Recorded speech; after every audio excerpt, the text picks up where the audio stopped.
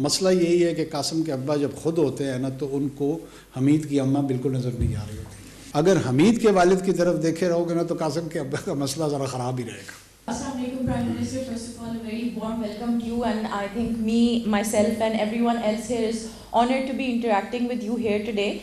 Uh, am going to proceed with my question सवाल मैं आपसे उर्दू में करूँगी और सवाल ये है कि uh, हमने अक्सर अवकात ये देखा है कि अगर हमने यूसुफ रज़ा गिलानी साहब को हटाना हो या नवाज़ शरीफ साहब को हटाना हो या इवन कि अगर आपने कासिम के अब्बा को गिरफ़्तार करवाना हो तो हमारी अदालतें रात के 12 बजे भी खोल दी जाती हैं।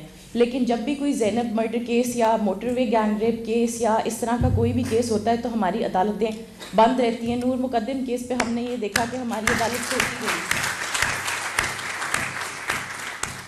My question to you is Isn't justice denied, justice late, justice denied?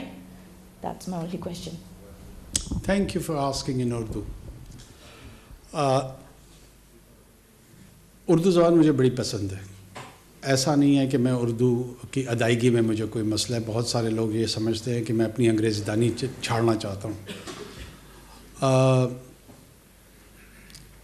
देखो, आपने पूरी बात जो की है अपने सवाल में अपना जवाब भी मेरे ख्याल में दे चुकी हैं। आप मेरे लिए कहने को बहुत कम छोड़ा है आपने, लेकिन उसके बावजूद मैं कुछ ना कुछ ज़रूर कहूँगा उस पर ये जो पूरा का पूरा निज़ाम अदल है इस पर बड़े संगीन सवाल हैं।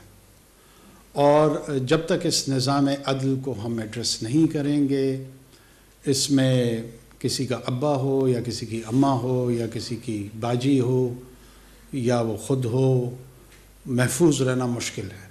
यही आपको प्रोटेक्ट करता है ना ये निज़ाम। और वो चंद रहनुमा उसूल होते हैं आपके। मसला यही है कि कासम के अब्बा जब खुद होते हैं ना तो उनको हमीद की अम्मा बिल्कुल नज़र नहीं आ रही होती। वो नाउंस के झगड़े में फंस जाते जब तक मैं हूँ आज तो मुझे सब कुछ दुरुस्त नज़र आ रहा है।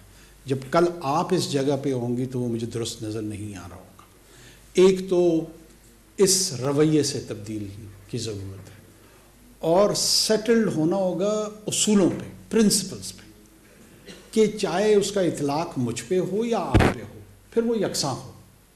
हमारा बुनियादी मसला यही है कि अगर रियासत के चंद इदारे उनसे मैं मुस्तफ़ हो रहा हूँ तो मैं उनको वालिद का दर्जा देना शुरू कर देता हूँ। दिया है ना?